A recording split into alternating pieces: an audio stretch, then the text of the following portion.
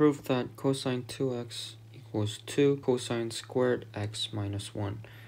So cosine x is base uh, cosine 2x is basically this and since when uh, we learned this we learned it as cosine x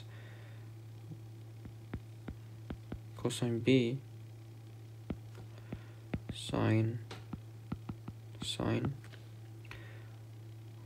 co cosine cosine minus sine minus sine. So it applies as so it's basically the same thing. X x x x so that's cosine squared x minus sine squared x. And since cosine squared x plus sine squared x equals 1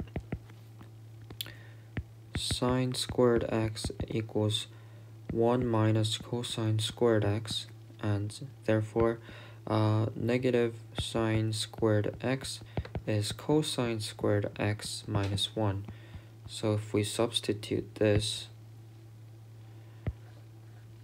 here what we get is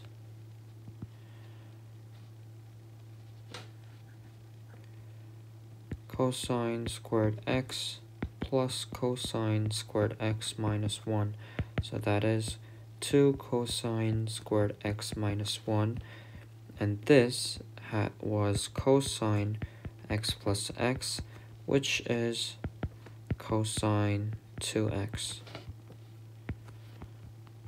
Hence, cosine 2x equals 2 cosine